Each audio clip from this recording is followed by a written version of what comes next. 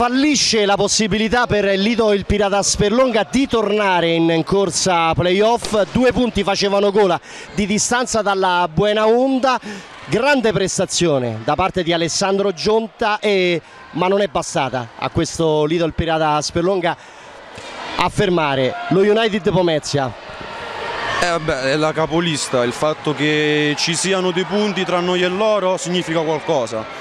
Io penso che noi abbiamo fatto un grandissimo campionato, da matricola ci siamo arrivati a giocare praticamente fino all'ultima giornata il terzo posto per accedere ai playoff. John Tang, non peraltro va comunque sottolineato comunque che tra voi ci sono sempre state delle, delle grandi prestazioni perché già dalla passata stagione nel campionato provinciale vittoria dalle vostre parti, sconfitta qui quest'anno la stessa cosa è successo. Le vittorie comunque sia da una parte che dall'altra sono sempre state frutto di grandi prestazioni. Sì, ma noi il nostro, cioè il nostro segreto è innanzitutto il gruppo e ci sta a venire qui a perdere. Noi abbiamo fatto un grande primo tempo, purtroppo penso che siamo crollati fisicamente nel secondo e ripeto io sono contento del campionato che abbiamo fatto, ci meritiamo questa posizione se arriveremo in questa posizione a fine campionato e niente, poi si penserà per il prossimo anno. Sinceramente siamo ormai alle battute finali, arrivano, stanno per cominciare a iniziare a rollare i titoli di coda di questa stagione ma vi aspettavate, o meglio tu personalmente ti aspettavi che il Lidl Pirata avesse potuto recitare questa, questo ruolo in questa stagione? Sì, io pensavo che, pote cioè che noi potessimo, potevamo recitare un ruolo da protagonista e vincere il campionato no. Veniva, venivate da una vittoria della Coppa Provincia di Latina, vi eravate proposti come una squadra un po' outsider. Esatto, diciamo quella che si chiama una mina vacante. E noi ci siamo prefissati un obiettivo, arrivare a gennaio costruendo una squadra con un, una propria identità, un proprio gioco e a gennaio si tiravano le somme, ci siamo trovati quarti, quinti, non ricordo di preciso, quindi eh, era doveroso provare a prendere il terzo posto. Non ci siamo riusciti, abbiamo sempre rincorso, siamo per adesso sempre stati sotto al terzo posto quindi se a fine campionato arriveremo quarti ci siamo meritati questa posizione ma dobbiamo essere orgogliosi da matricola, arrivarsi a giocare il playoff all'ultima giornata è un ottimo risultato.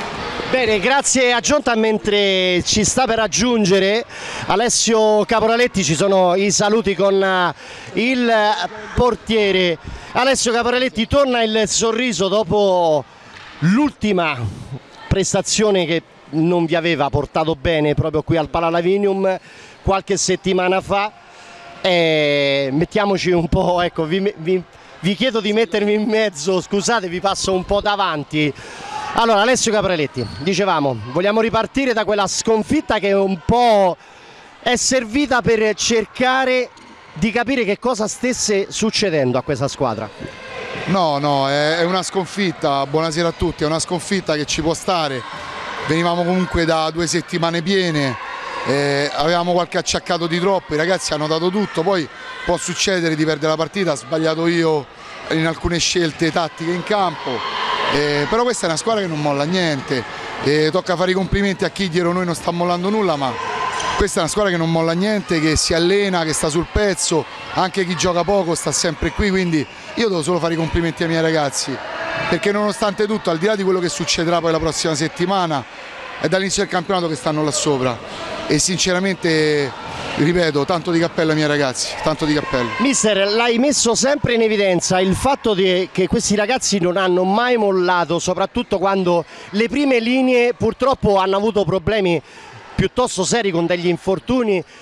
Hanno come si dice mh, dato il massimo però eh, anche chi è stato di dietro ha pazientato un po' magari ingoiando qualche boccone amaro come si dice in gergo però è sempre stato presente. Oggi purtroppo Cimini non è entrato per niente, alcuni ragazzi sono entrati due o tre minuti. Settimana scorsa Giardina sull'1 pari ha salvato sulla riga un gol e su quella ripartenza abbiamo fatto noi il 2-1, sono tutti under.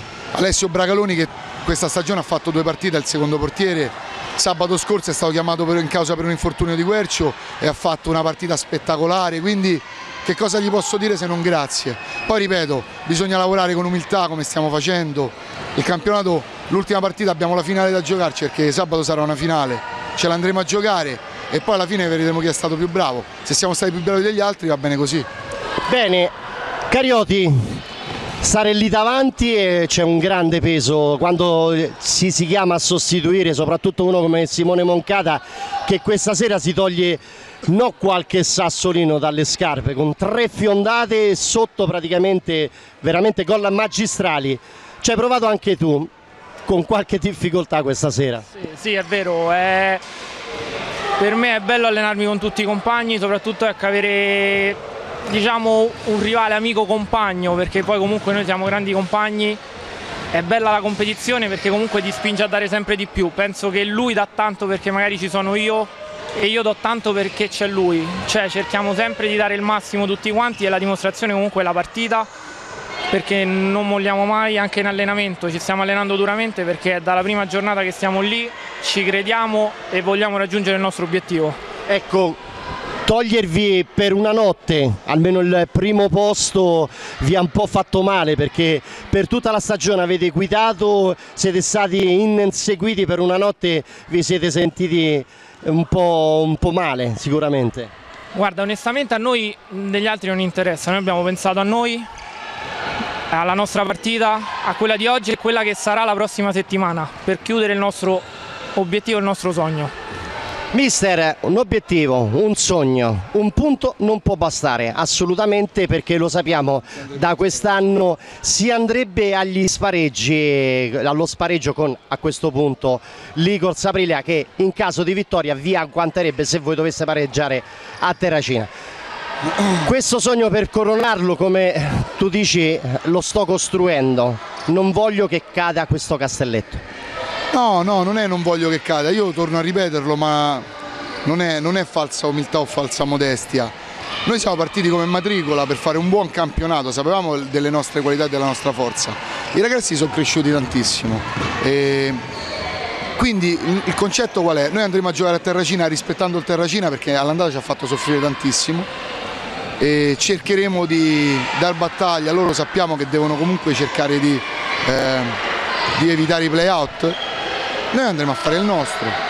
Poi se gli altri sono più bravi noi gli stringiamo la mano, noi facciamo l'intervista quando perdiamo, stiamo sempre sul pezzo. Mirko è venuto con me l'altra sera quando abbiamo perso abbiamo fatto l'intervista, non ci sottraiamo mai. L'anno scorso quando abbiamo perso abbiamo dato merito ai vincitori, l'abbiamo sempre fatto in Coppa con il Lidl Pirata, in campionato con l'Eagles Aprilia.